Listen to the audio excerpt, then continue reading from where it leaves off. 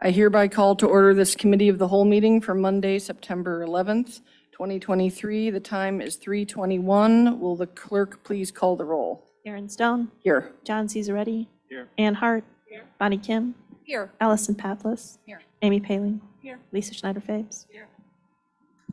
I seek a motion to approve the minutes of the August 14th, 2023 Committee of the Whole Meeting and Executive Session.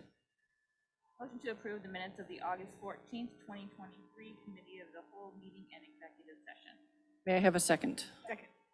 The motion has been made and seconded. Board members, are there any comments, errors, or omissions to the minutes? All members in favor of approving the minutes, say yay. Yay. Motion carries. We have no Facility Development Committee items, nor do we have school finance items. So we will move on to strategy, which is Mrs. Schneider Fabes. You should, you are special. We're all, we're all special. I'm going to turn it over to Dr. Scully to talk about the strategic planning update. Excellent, thank you so much. Um, Our district strategic advisory team held its first meeting of the school year on Thursday, September 7th. Uh, The meeting provided an opportunity of introduc- introductions for all team members. Remember that this is a stakeholder group, um, which includes parents and community members, as well as administrators, staff, and teacher representatives. And um, at the first meeting, uh, we had several new team members, which we're always grateful for some new perspectives as we review our um, action steps. And so we did introductions and we also um, received some feedback on our strategic plan action steps for this school year. So we are here this afternoon to share those proposals with all of you and receive any questions or feedback that you might have um, as we finalize our steps for presentation to the board at the upcoming Board of Education meeting. So we are going to walk through the presentation with some depth today um, and welcome any feedback or questions, whether you have them today or um, in the coming days so that we can finalize that plan. Um, We're really excited about the work that we're doing and um, the work that's ahead of us. So I will allow Katie to give us an introduction, and I think, are you sharing from your screen? Oh, s- okay, yeah, I wasn't sure about that, okay. but I will, I will definitely do that now. Um, I'm just following your lead. I thought this was just a meeting discussion. Um, here we go. So I'm using the slides that we, um, used for the strategic advisory team. Um, I wanted to start with sharing the cycle that these action steps go through. Um, I think that was really important context for our new members as well um, to understand, you know, what has happened prior because they were new to the district strategic advisory team. So at the end of the year, um, we provided an end-of-year progress update to the board, really going through all of our different goals and sharing with you our progress at the end of the year, and that was done in May. And then with um, those results, looking at our June all-day ad council or administration uh, council retreat in June, we went ahead and made some adjustments based on the results of that year to the action steps, really reflecting on um, how, how well did our action step um, progress our, our results?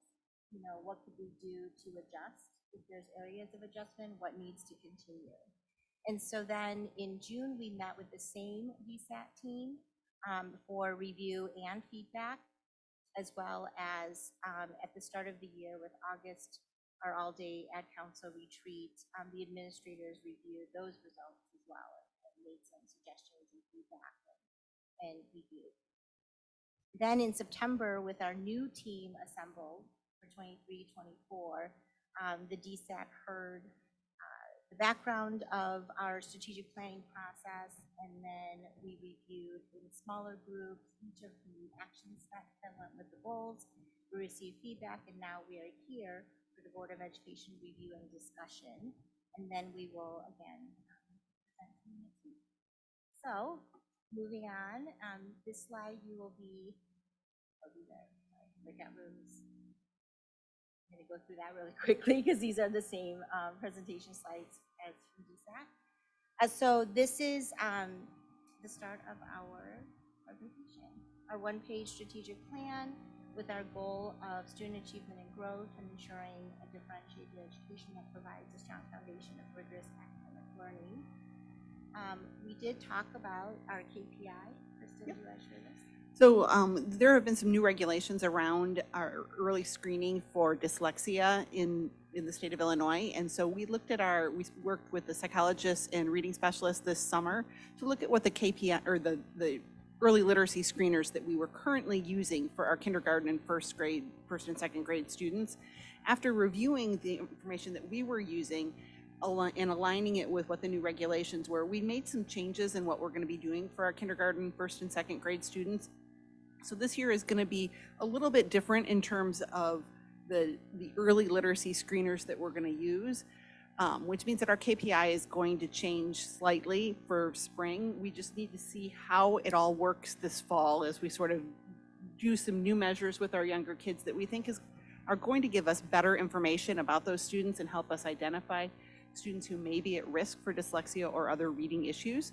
Um, we'll be keeping you up to date as, as to how the benchmarking goes in the fall and winter, and we will, at the, um, with DSAT in February, I think it's a February meeting, finalize kind of what we believe the KPI should be with those changes in the early literacy screeners. So, Just to keep you all up to date on where we are. Um, so these were the, um, action steps that we presented as a final draft. Actually, the paper copy that you have, or the one that was uploaded, has some of the adjustments on here that is not reflected on the screen. Um, so what I think, if, if that's okay, what I'm gonna do is switch over to this document, um, that is reflective of what you have in front of you. So with our goals and strategies and our 23, 24 action steps, the, uh, none of the key performance indicators change, the strategies did not change. Um, some of the updates for the action steps would be, um, the ones that you see, the six that you see in front of you. Uh, building MTSS teams will analyze student data after each benchmark period. Um, we wanted to identify MAP and Ames Web Plus. We received feedback from DSAT about, you know, what, what about the classroom indicators? And so we added the classroom performance language and identify students who require tier three services, um, intervention or enrichment in either reading or math. Then for the second action step, it would be building MTSS teams will track the progress of students receiving tier three intervention, tier three services for intervention and note those who require lesser in- intensive services by next benchmark or end of the year.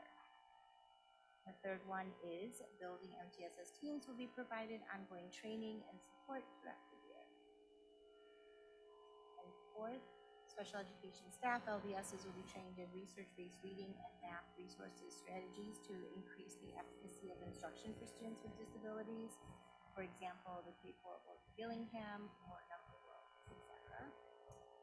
And then general education staff will continue to engage in professional learning about research-based reading and math tier one instruction, assessment, intervention, including math support and enrichment, reading intervention, and differentiation support. And finally, District 39 teachers will provide explicit instruction to students on the goal setting process and line with students' developmental level and engage all students in the goal setting for either class and or individual goals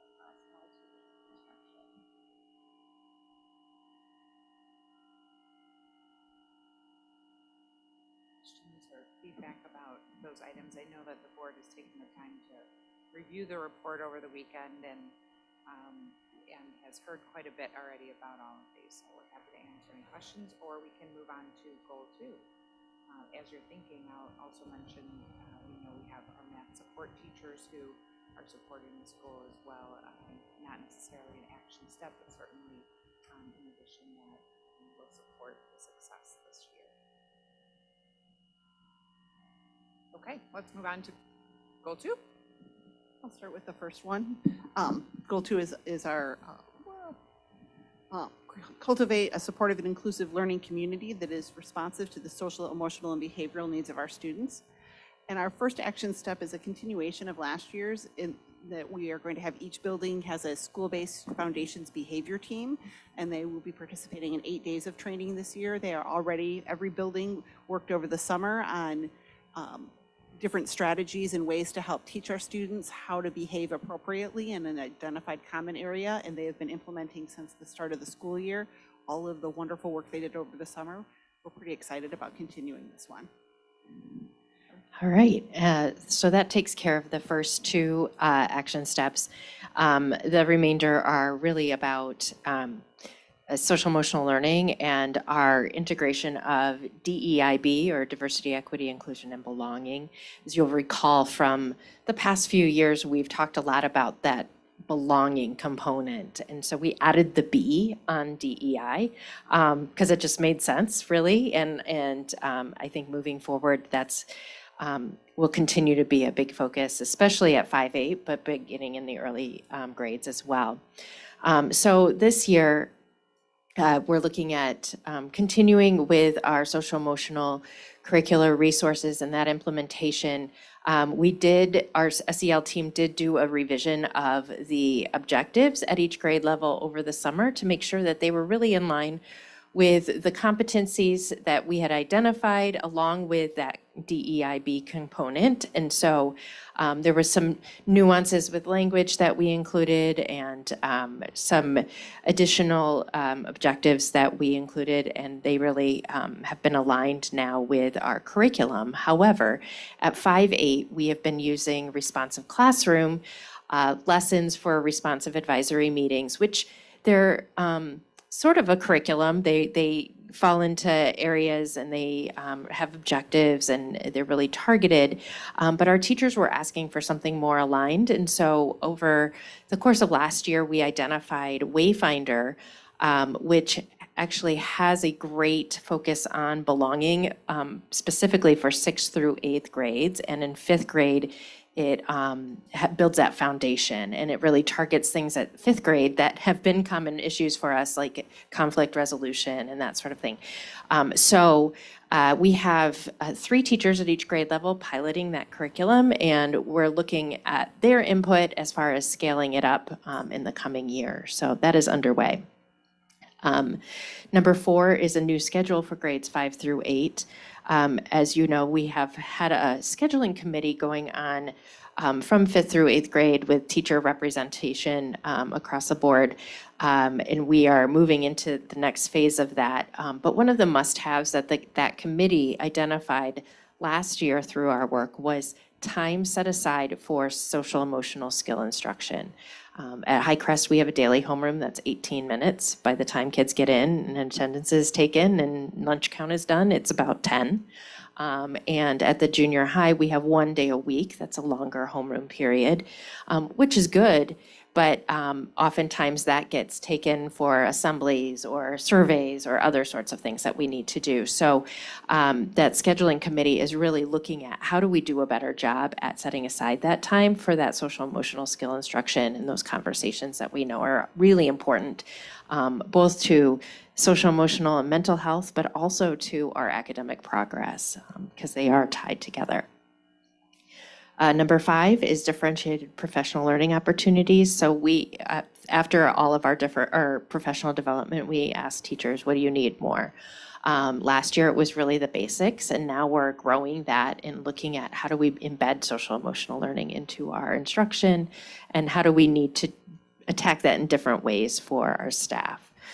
Um, Number six is a reporting system to engage families. So as you'll recall, a couple of years ago, we had a CRC uh, review that was based on social emotional learning and communication with families. And so now that is growing and we're digging into um, really how do we report social emotional skill development to families via report card or some other reporting method.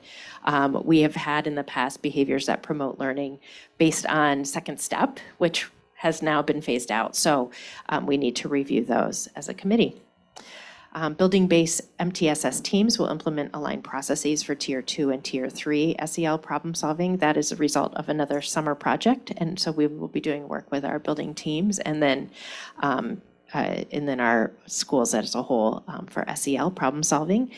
And finally, build staff capacity for DEIB uh, through professional learning opportunities. And so we're looking at how do we not only train staff in um, lessons or sharing that sort of thing, but how do we prepare staff for um, those conversations that might naturally arise as students share about themselves, as students learn about others, and um, do that in a natural and authentic and age-appropriate way.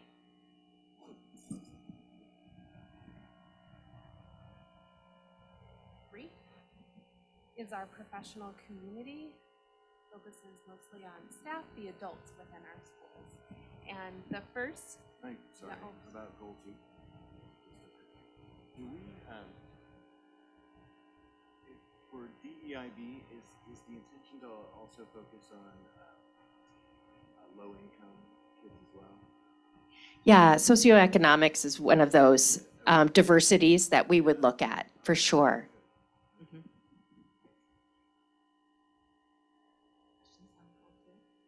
I had a question, you may not be there yet, but for the specific SEL instruction you're trying to create time for on the 5-8 level, are you thinking daily or are you not sure yet? Really, best practice would be two to three times a week. Okay, Mhm. okay, thank you. And I'll add, I know the board is aware, but um, our scheduling team will be getting some support this year as well as they try to um, refine their considerations and come to a, a final recommendation. So we're excited about that work that um, is ahead too. So working with some really great people for that. so I, this is not a question so much as uh, acknowledgement and observation. I love talking about those two first goals. Um, I'm sure you all have been, like me, hearing a lot about the achievement, toxic achievement, uh, sort of risk of kids from communities like So we're talking in goal number one about making sure that we set high and appropriate goals for student achievement, and I, you know, I, I really applaud the way you all have gone about that and are thinking about support kids, and also being equally mindful at the same time that we are not, and I think about this as a responsibility of board. We're at the very top of approving what we're expecting of kids and not wanting to set a model that is quite literally never enough. You know, you're in the top. So I, I just am thinking a lot about that, and I think as we are approving these, I'm so grateful for the priority of social Thank you for acknowledging that. I, for, for me, I think that's really, really important, and it came out loud and clear on all of our strategic planning feedback sessions uh, with our, with our internal teams, with our external stakeholders, that both were very, very important, and I think it really is something special about Wilmette, and so staying true to that is, is important to us, and so, um, thank you for your support of that. All right, so goal three. about balance, right? Exactly. So now we're going to talk about the adults within our school community. The first four are continuation action steps from the last year's plan. But they're valuable and we know that we're gaining information and um, making progress towards our larger goals as a result of these action steps. And so we want to retain them. Keeping the district advisory team, strategic advisory team operational and kind of that circular feedback of these ideas, what you think about it, revise, change, and continue on with new ideas. That process we know is um, helping us as we make gains in our goals. We will continue to seek information from staff at key points within their career, whether it's within the ten-year period or shortly thereafter, or even as they leave us either for retirement or for another um, place of employment, getting that feedback to make sure that their experience is reflective of what we're aiming for and changing our practices if we need to result of that feedback.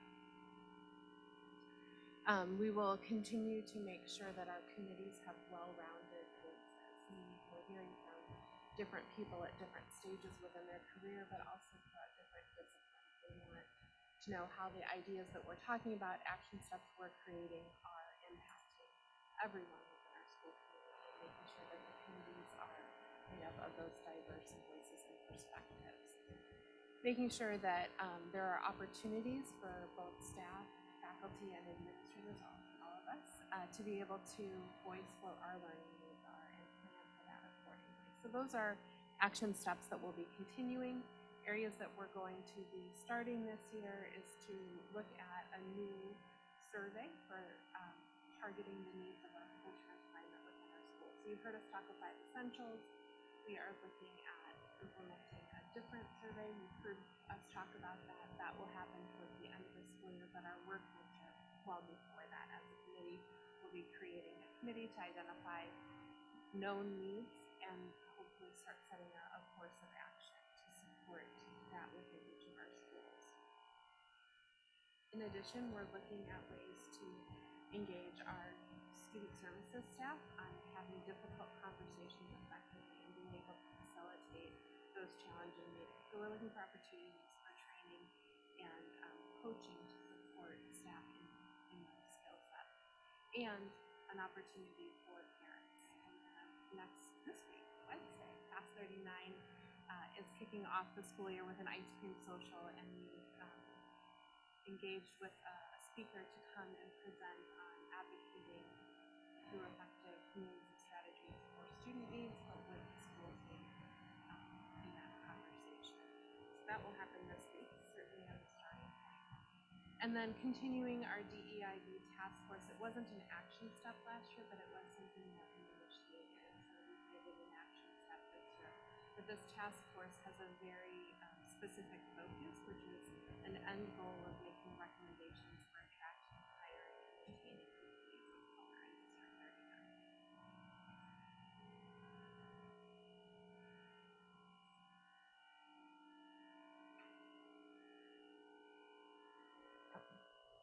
Do we want to talk about the surveys as well?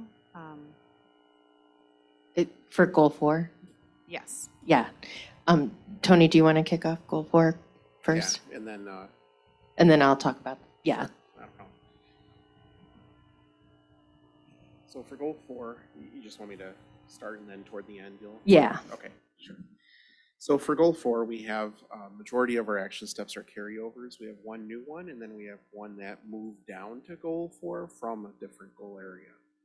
So I'll just go ahead and start talking through some of these. Uh, as you know, we were looking at our district and school social media followings, um, and interactions and hoping to increase those. Um, more by the way of advertising, so Leo Kraus and I went through some social media uh, consulting training on that and uh, have worked through two different venue, uh, ways in which to increase uh, our followers and our interactions uh, through advertising, either by boosting posts, individual posts, or by through advertising campaigns. Both are within the Meta platform, seeing that our two most uh, used social media channels by our parents, both last year when we surveyed, and again, because we started to survey on Friday, are still face, Facebook and Instagram, both owned by Meta. So it makes sense then to focus our advertising that and otherwise. So our, uh, making sure kids were registered and enrolled for this school year, capturing not just the parents we know, but also the ones that may not currently be in our system, so those with younger kids. Our parent education events, starting to advertise those. And of course, this year you'll start to see some posts just in general going to any of the residents um, in the, in our zip code as well as uh, the area in Glenview that we serve and beyond, so that the taxpayers who fund us feel as if they're getting a great bang for their buck, which they are. We just need to make sure they feel like they are and that others in the North Shore also see that they are. So um, that's part of the reason why we're doing this. And then we might take existing communication um, avenues like the 39 Express and also send it out that way, just to be sure that people in the community are capturing those. Anyway, all that to be said, we've um, started doing that, and you'll see a lot more of that um, as you're looking through your feeds or Instagram Reels or whatever, it'll show up there. The second action step we have is to, uh, which we're continuing, is to the redesign process for the district and school websites and the streamline in- information to those. Um, We kind of did a soft launch with some of the templates. Uh, They're still getting worked on. There's still more work to do. However, uh, what you may find now if you go to our district website or school websites is a little bit cleaner look.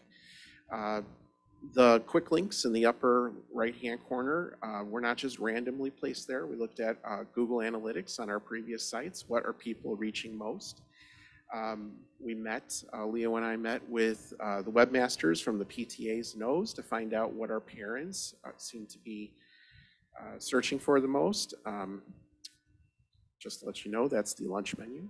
Uh, That came through very loud and clear, uh, which is, you know, things we think are valuable. I, I will tell you right now, overwhelmingly, as we met with them individually, the lunch menu is a thing out there. So obviously, if that's a thing, and, and that's where people are, why people are getting drawn to that, we need to make sure that the link to that is prominently displayed.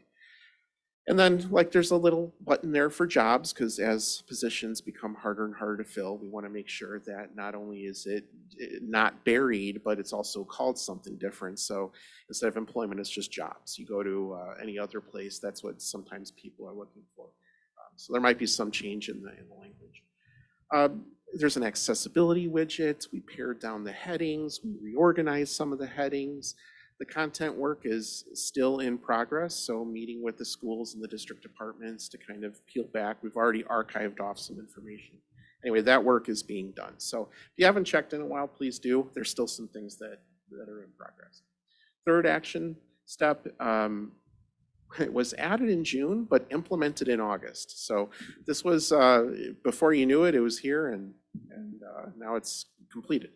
So uh, there was, it, it came through that we needed some kind of online newsletter tool for our staff, um, just to help them and have some consistency for our families, give our staff, our teachers, some analytics themselves.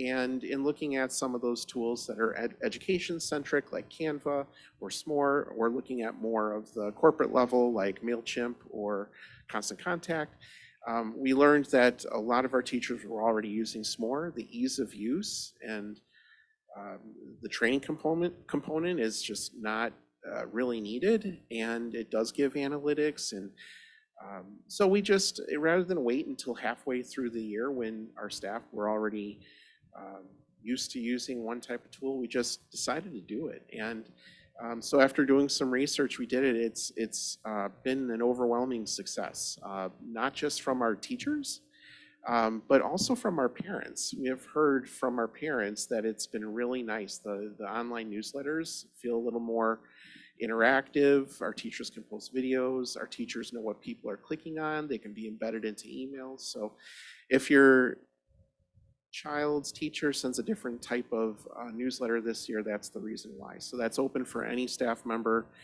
in the district. Uh, We're using Smore. The fourth item um, is our transition. So you know that we've worked on uh, transition planning from fourth to fifth grade in a previous year, and then now it's our time. And, and some adjustments were made for the sixth to seventh year, some tours, student ambassadors, making sure eh, that now is continuing. So I know uh, Kate and with support of uh, Kelly as well have, have really focused on some of the great things that have been happening in that fourth to fifth grade, bringing that to the sixth to seventh grade transition. So, um, and then I'll just um, mention one more, and then maybe Kelly can jump into anything related to transitioning and uh, transition planning and that last bullet point action step as well. Uh, the fifth one is the academic pathways. So that uh, the deliverable on that is is a document, but I think it's a document that we know the reason why it landed here is is it's a needed document. So something that shows our parents that our courses connect, not just within our system, but possibly even with New Trier. So eh, not that we have as many options as New Trier does, but it, it has been difficult at times for some of our parents to track why they've been, or their child's been placed in a certain class. So um, they, there, so it's clarifying for our parents, putting it into a document that would live on the website. So Um, That one should be pretty easy to complete, uh, is in progress and sh- should see that shortly. So I'll turn it over to Kelly, who's our uh, other gold champion for goal four. Yeah, and just going back to number four with the, uh, using parent surveys and feedback, we shared this with our um, team at DSAT um, and also talked about how a fourth to fifth grade survey was going out. We had a long discussion just about the amount of surveys and um, it kind of referenced back up to goal two where we were um, talking about um, some of our KPIs that involve surveys. So there's the five essentials originally that now we will be giving um, CSCI to students instead of five essentials. So those KPIs will have to adjust.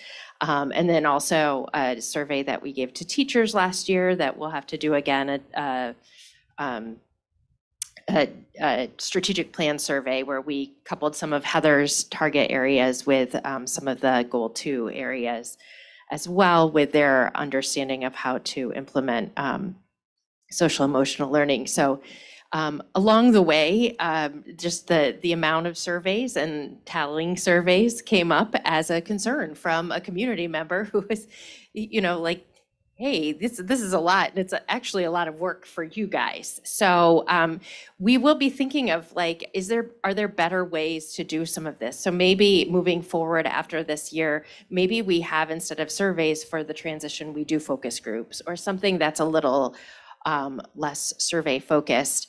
Um, and, and maybe there's a different way to gather information.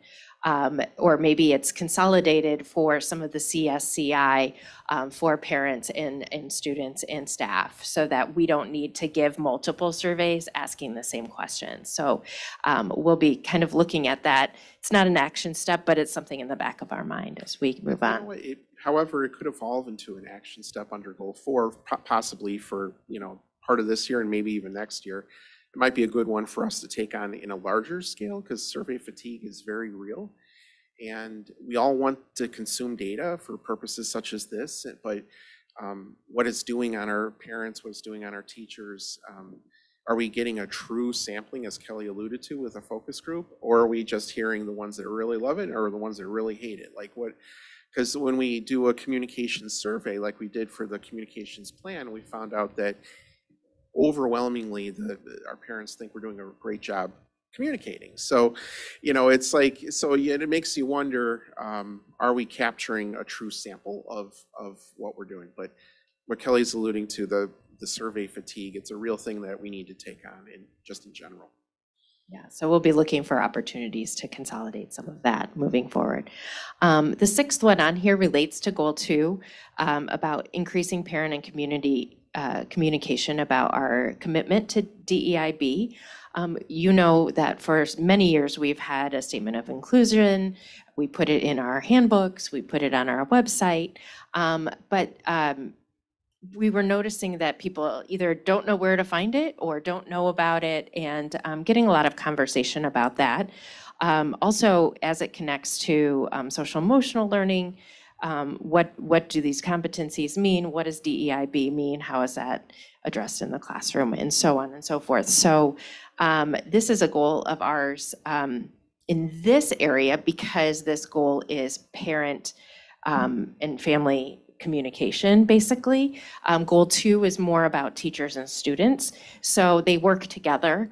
Um, and, if you have attended curriculum night, um, you'll see teachers are passing out our SEL objectives. We're talking more about it. Um, we've included information in our administrator um, openings. And so we're really making a conscious effort to increase that communication and knowledge for everybody. Are there any questions on goal four that Kelly or I can answer?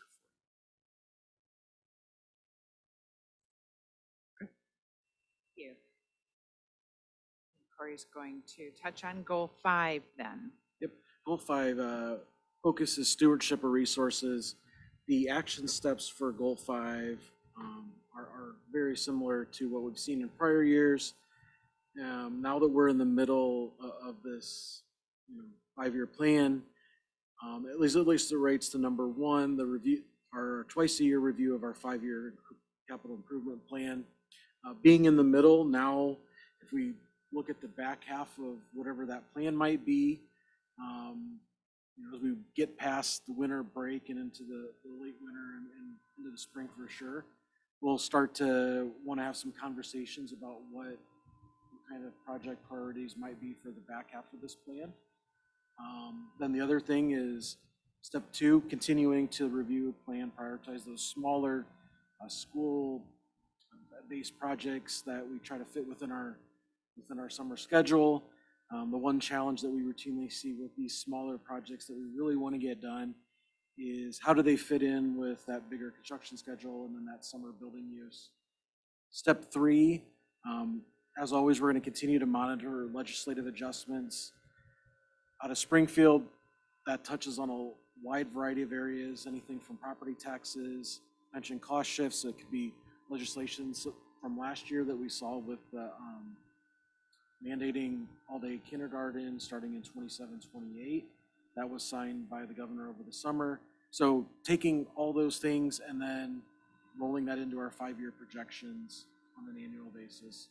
And then the last item is just implementing a process to evaluate the class size and staffing patterns across non-homerooms at the five-eight level. So That is uh, goal five, and we're happy to answer any questions. Any questions about?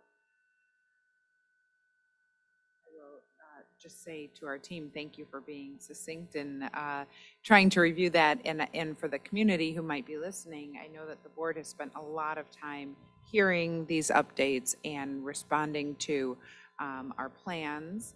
So the lack of questions hopefully reflects that uh, the board is, is feeling as though they're well informed about uh, what's being presented today, but we are happy to make any refinement to any of these action steps uh, if there is any feedback before we present again at the Board of Education for final approval.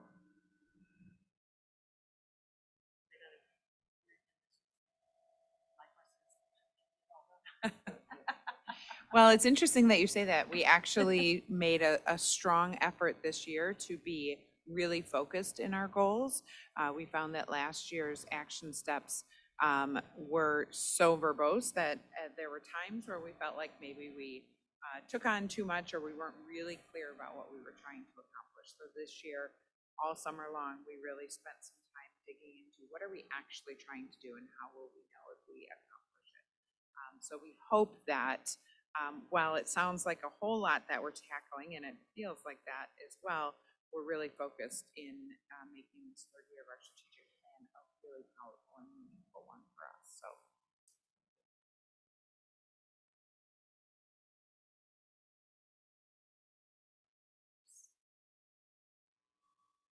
Okay. Mrs. Schneider Fabes, are we done with strategy? Yes, we are. Yes. Um, I just want to say I appreciate that reflective process that you just went through. That's um, going to be really impactful, I think. All right, this is an opportunity for the public to address the board. Are there any community members that um, are present who wish to speak? Okay, seeing none, we will continue with the agenda. Is there any old business? I think I have one question on behalf of me and Bonnie. So this summer, you had said that the McKenzie Playground was going to get whatever, a ribbon cut or something. And um, you'd asked for a couple board members to go, and Bonnie and I, since we are the two former McKenzie moms that are on the board, we were maybe gonna, not maybe, but we were planning on tapping into the younger versions of ourselves and showing up on the playground. Um, do you know when that is? let me confirm and Okay. get those, that. date Okay, all right, thank you. Um, any other old business? Any new business? Right. Having no further business, we need a motion to adjourn the committee of the whole meeting. Motion to adjourn the committee of the whole meeting? May I have a second? Motion having been made and seconded, all those in favor of adjournment, please indicate by saying yay. Motion carries by general consent, and the time is four o'clock. We are adjourned.